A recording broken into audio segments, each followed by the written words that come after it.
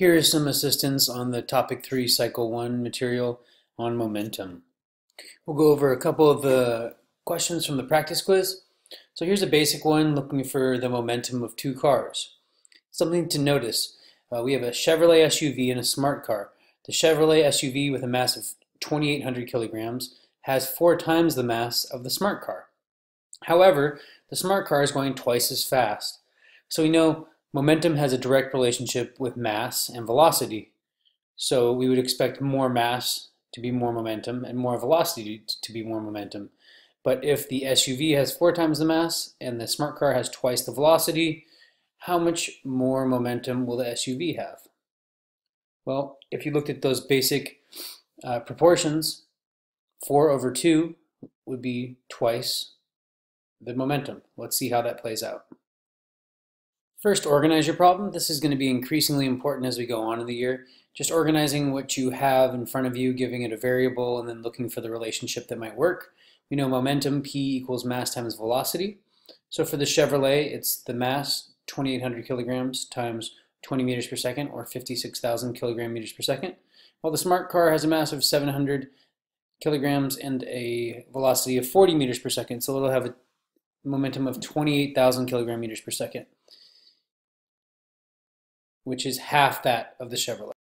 So um, that's how we just calculate the momentum. Um, we saw that the smart car was one-fourth the mass, but going twice as fast. That led it to have half the momentum. If they're going the same speed, how much more momentum would the SUV, Chevrolet SUV have? Well, because it has four times the mass, it would have four times the momentum.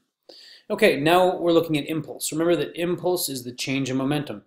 So here they both slow down to a stop in 10 seconds. That means a stop would be zero momentum, so they're going to lose all of their momentum. Um, the change in momentum is impulse. That equals force times time. That means we have the change in momentum or impulse, and we have the time, so we can plug in to solve what we're missing, the force. So for the Chevrolet, it loses all its momentum, so it has its change in momentum is negative 56,000 kilogram meters per second. Set that equal to 10 times F, so the force would equal negative 5,600 newtons. Um, whereas the smart car loses 28,000 kilogram meters per second of momentum. Set that equal to the impulse, or force times time, 10F.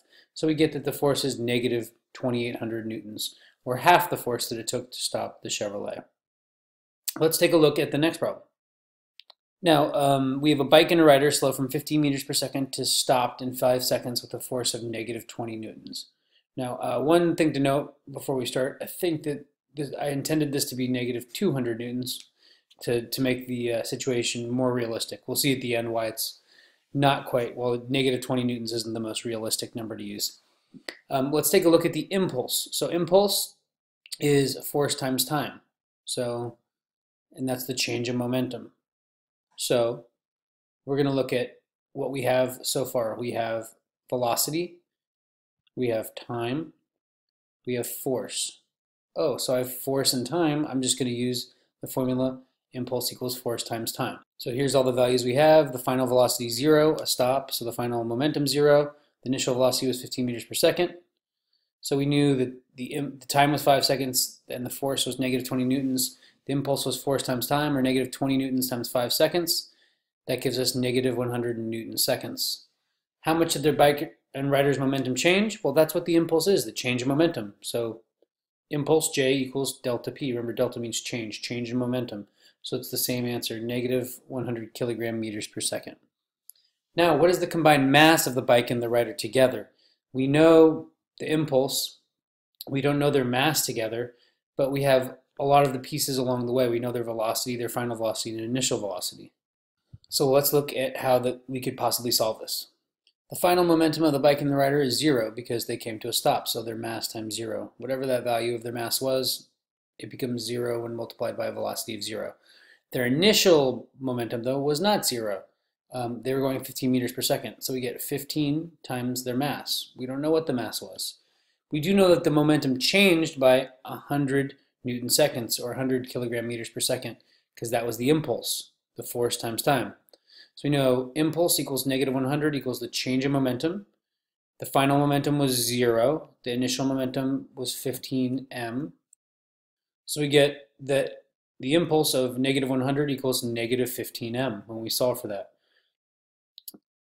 Negative 100 equals negative 15m, so I'm going to divide both sides by negative 15. That's the opposite of multiplying by negative 15. I have to do it to both sides for the equation to stay equal, and I get 6 and 2 thirds kilograms. And this is where the, the mass isn't realistic, that's very light. Um, if the if the force were 200 newtons, then this would be a thousand for the impulse, and you'd get another zero there.